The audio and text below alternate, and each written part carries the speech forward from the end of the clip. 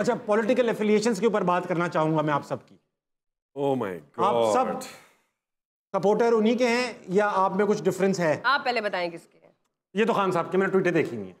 मतलब मैं था सपोर्टर पीटीआई का था। था।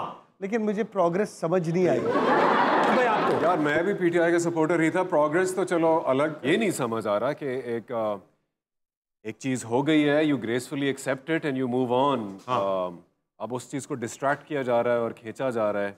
सब आप बताइए ना प्लीज़ आप तो फ़ैन हैं। ऑफ़ कोर्स मैं हूँ लेकिन मैं ये कहना चाहूँगी चाहे कोई भी लीग हो कोई भी पार्टी हो जो मुल्क के लिए अच्छा सोचता है मैं उसके साथ हूँ।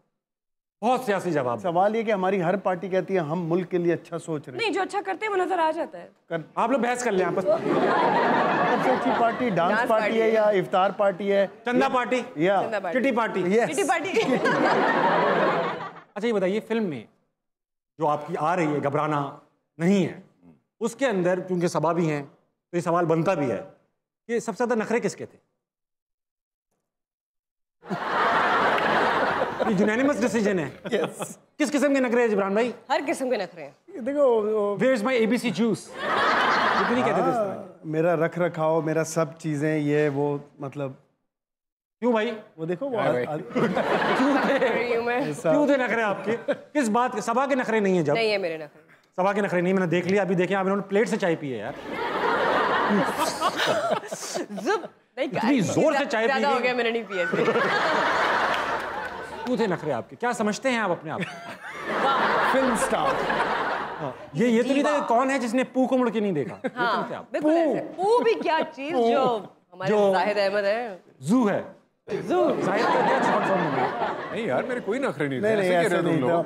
कह रहे मजाकन मजाकन कह रहे थे। जितनी और अगर नखरे नखरे हैं भी हाँ। तो जचते उस पर इतना अच्छा अदाकार है थोड़े नखरे जचते बहुत अच्छा कवर किया। आपने जिब्रान ने बहुत अच्छा कवर किया माशाल्लाह। इसी तरह हम एक दूसरे को कवर कर करके चल रहे काम चला रहे अच्छा आपसे मैं क्योंकि नखरे आपके हैं सवाल पूछना चाहूँ तेरह साल दस साल आपने कॉर्पोरेट सेक्टर में काम किया। मैंने भी पंद्रह साल काम किया। फिर हमें रियलाइज़ हुआ कि भाई इससे तो घर नहीं बन सकता। मैं तो इस वजह से आया हूँ पैसे की लालच में। सच्ची सीधी बात यही है। आप क्यों आए कॉर्पोरेट ज़िंदगी छोड़कर। हाँ, नहीं पैसे की लालच में हर किसी नहीं आया। मेरा पैशन था एक्टिंग और मैंने जब थिएटर करना शुरू किया अलॉन्ग साइड वर्क हाँ। तो समझ आई कि यार यहाँ पे पोटेंशियल है यहाँ पे यू नो आपकी अबिलिटीज़ की पूरी तरह जो है वो यूटिलाइज हो रही है। ये लोग मज़ाक क्यों उड़ा रहे हैं आपके हम अगले शो की डिस्कशन कर रहे थे कि हाँ हाँ वेरी गुड हमारे पैसे पे हमारे पैसे पे अगले शो का डिस्कशन हो रहा है यहाँ पर यार।